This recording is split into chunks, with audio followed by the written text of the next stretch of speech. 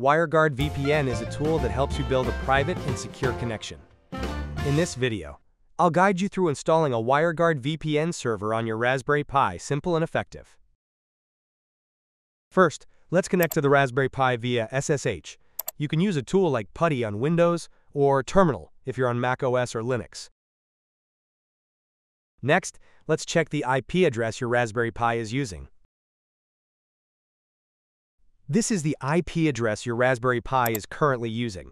I recommend setting up a static IP address for it to prevent the IP from changing every time you restart. Next, let's take a look at how the WireGuard VPN works on the Raspberry Pi. Here, the Raspberry Pi acts as the VPN server and opens port 51820 for communication. This is the port used by WireGuard. Next, the router or firewall forwards port 51820 to the Raspberry Pi and can use DDNS to keep track of changes if your public IP is dynamic. You can also use your static public IP directly if available. And from outside your network, devices like computers, phones, or laptops act as WireGuard clients, connecting through the DDNS or public IP on port 51820 to securely access your internal network through the Raspberry Pi. Okay, now that we understand how the setup works, the next step is to identify your network's public IP address. You can visit whatismyip.com to check your public IP address. If you're not using DDNS, make sure to write down this IP, because we'll use it later when configuring WireGuard. Next, let's log into your router or firewall. If your public IP is dynamic, I recommend using DDNS to create a fixed domain name, making it easier to connect from outside your network. The steps to configure dynamic DNS may vary depending on your router or firewall model. But generally, you just need to find the DDNS section in the network settings, then enter your account details and the DDNS domain name you registered earlier. Okay, next, we need to configure port forwarding for port 51820 on your router or firewall, pointing it to your Raspberry Pi. The interface may vary depending on your router or firewall, but generally look for the port forwarding section. Sometimes it's under NAT or firewall settings. Here, we'll add a new rule to forward port 51820 UDP to the local IP address of the Raspberry Pi. This rule allows all incoming connections from the internet to reach your WireGuard VPN server running on the Raspberry Pi.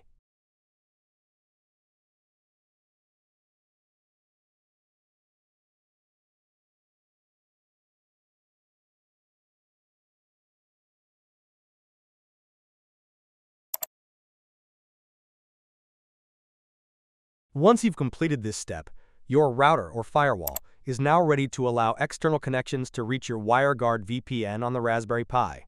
If you find this video helpful, don't forget to subscribe and support the channel. Okay, everything's ready. Now let's go back to the Raspberry Pi to start installing and configuring the WireGuard VPN. First, I'll install a required supporting package,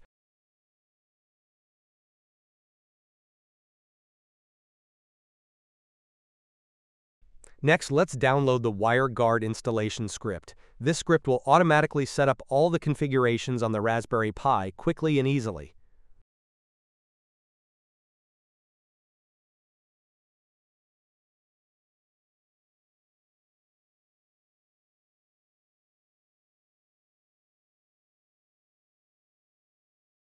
After downloading, let's run the script to start the installation and configuration of WireGuard on the Raspberry Pi.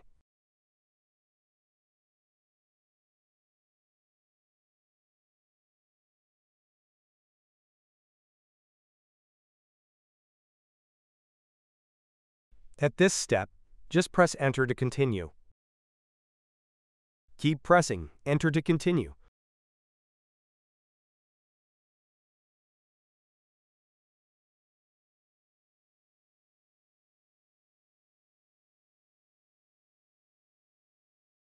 Here, use the spacebar to select your user, then choose OK and press Enter to continue.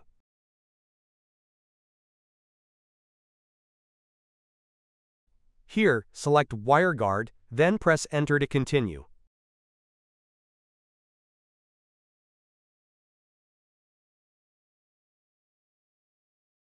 Here, just keep the default port, since we've already set up port forwarding on the router or firewall earlier.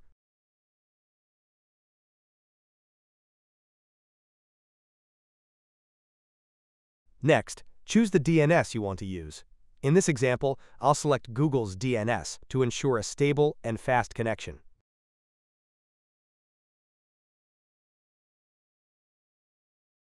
Here, if you've already set up DDNS, select DNS entry. If not, choose your public IP address for WireGuard to use. If you're using dynamic DNS, enter the domain name that you've configured earlier.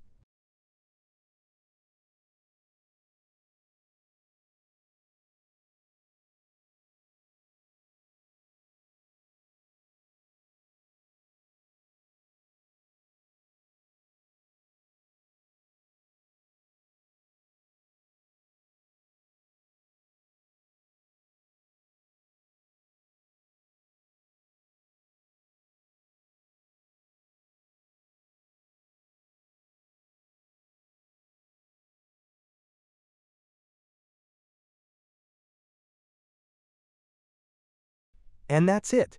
We've successfully installed WireGuard on the Raspberry Pi. Now, just press Enter to finish and exit the installer.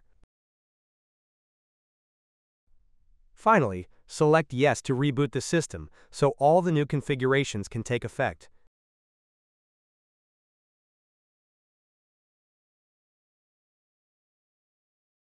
Wait for the reboot process to finish, then reconnect to your Raspberry Pi to continue the configuration.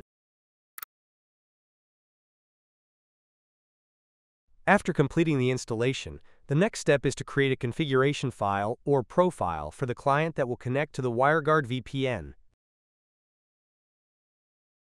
Here, if you want, you can enter an IP address within the range provided by the system, or simply leave it blank to let the system assign one automatically. Next, please set a name for the client profile.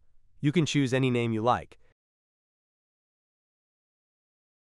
As you can see, we've successfully created a profile for the client. Now let's move to the directory where the system created the client configuration file.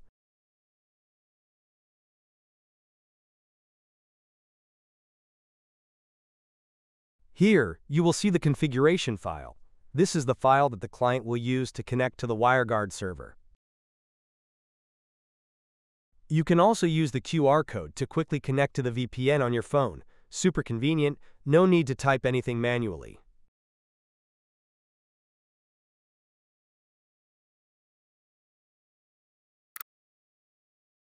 Now just open the WireGuard app on your phone and scan this QR code. That's it. Now use WinSCP to download the configuration file from the Raspberry Pi to your client machine.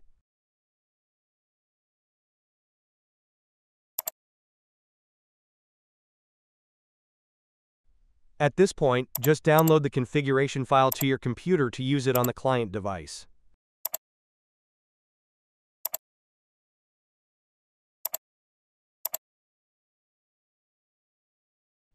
Once you have the configuration file, you can use it to connect to the VPN on your device. If you want to see how to connect on different operating systems, check out the link in the description below. Good luck! And don't forget to like the video and subscribe to the channel to support me in making more helpful content.